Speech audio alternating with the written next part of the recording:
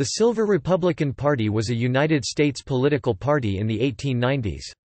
It was so named because it split from the Republican Party over the issues of free silver effectively, expansionary monetary policy and bimetallism.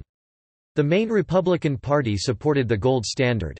Silver Republican strength was concentrated in the western states where mining, particularly silver mining, was an important industry. Silver Republicans were elected to the Congress from several western states.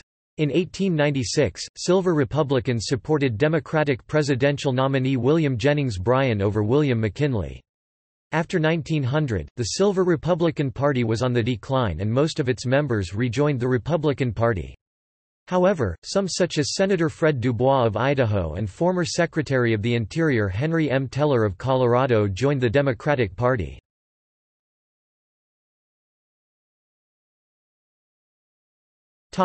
Noted Silver Republicans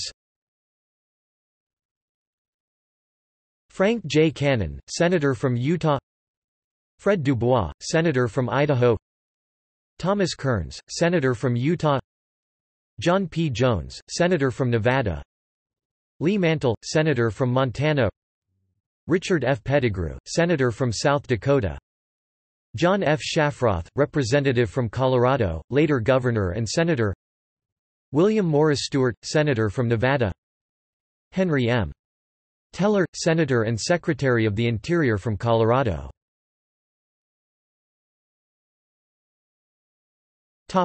See also National Democratic Party Silver Party